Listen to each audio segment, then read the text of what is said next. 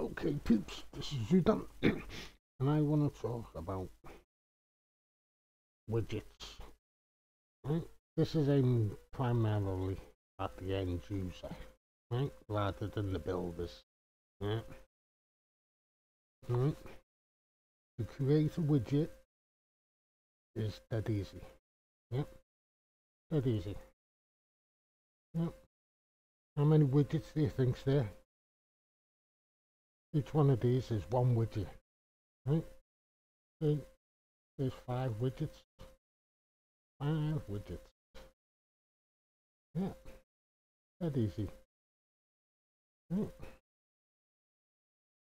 how many is there? Only the one. But you can see two two rows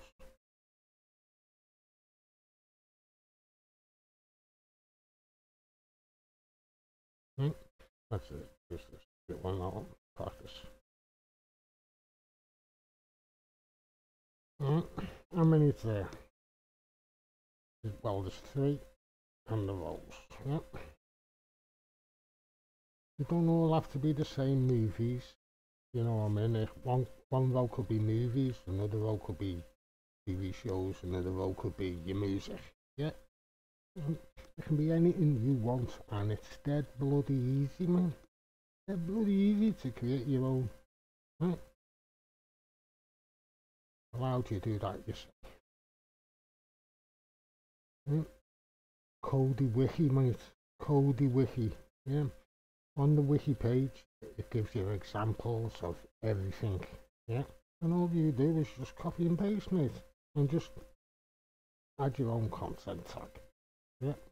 Content tag lets Kodi know what to put in the widget. Yeah. It's all explained on the Kodi wiki and it's dead bloody easy. Right? Instead of making a widget, you could make a new window. Yeah, a new home screen layout. Home screen layout. People are crying for home screen layouts. Yeah, but why don't you just create one? Yeah, dead easy, dead simple. Piece of piss. It's just people don't know how to do it. You need to get onto the Kodi wiki. Yeah. Thank you. This is Udan. Till next time. ta -ra.